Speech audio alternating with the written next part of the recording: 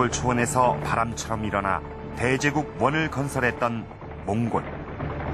고려 또한 몽골의 말발굽에 짓밟힌 채 90여 년을 신음하고 있었다. 그러나 중국의 정세가 급변, 원이 쇠퇴지자 고려의 반격이 시작됐다.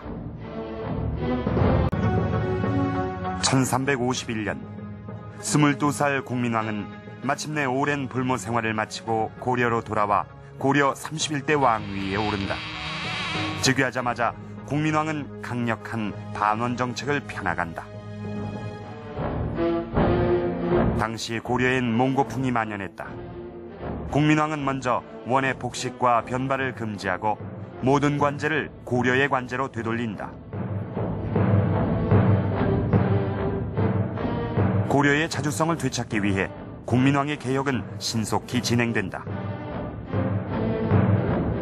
원의 연호를 폐지하고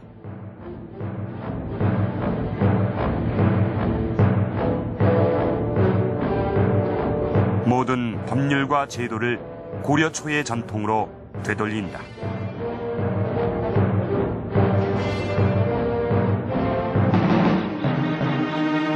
공민왕은 당시 원의 권력에 기대어 권세를 누리던 기철, 권겸, 노책 등 부원 반역배를 숙청함으로써 내부 개혁을 완결짓는다.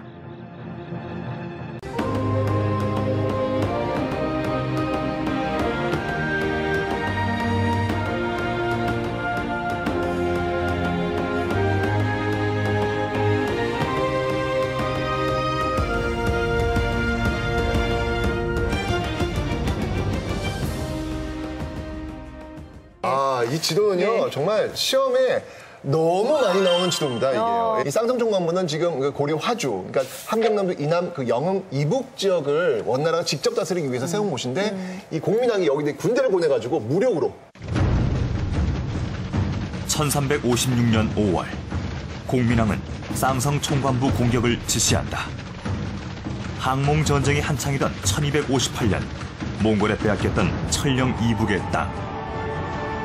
고려군은 출정 두 달 만에 쌍성 총관부를 함락시킨다. 항몽 전쟁 후 약 100년. 마침내 잃어버린 역사를 회복한 것이다. 사실 기존의 원과의 관계에서는 상상도 할 수 없는 일을 한 거예요, 지금. 네. 지금 박수 한번 쳐주고 싶어요. 박수 주세요. 아니 공민왕의 추진력이라는 건 이건 진짜 어마어마하네요. 연기를 하신 분이에요. 예. 그리고 쌍성총관부 수복.